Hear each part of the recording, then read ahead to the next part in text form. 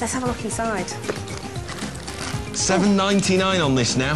Seven ninety nine. I put chocolates in there. Have you? Could you smell them? it's a Terry's chocolate orange. Oh, I can't believe you that. I smashed it now. I got loads of them from the newsagents down the road. They were shop soiled. Hmm? Oh. That's how I got them cheap. Now then, seven ninety nine if you want this. I'm down to the last hundred of these available now, so if you want one, it's buying time right now. Um, inside there, you can see you've got a grey interior, three-side splitter, so you've got a midway uh, pocket, and then you've got one side and the other side, and you've also got inside of all of this a mobile phone holder and another pocket.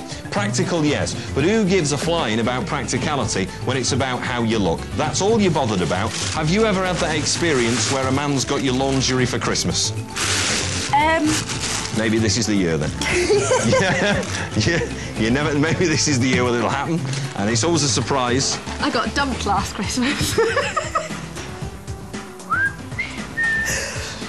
I did as well. Right.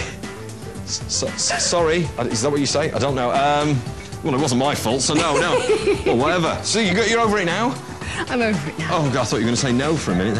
Um, oh, let me get rid of. I'll get rid of this table. Step, step, step. I'm going. I'm going. I'm going with the table. Here we go. Oh. Oh, ah, I'll be back. I'll be back. I'll be back. You're going to look fab in this handbag, you know.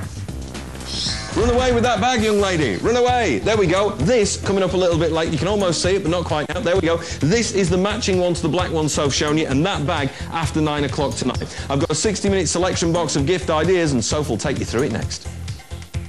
Tune in to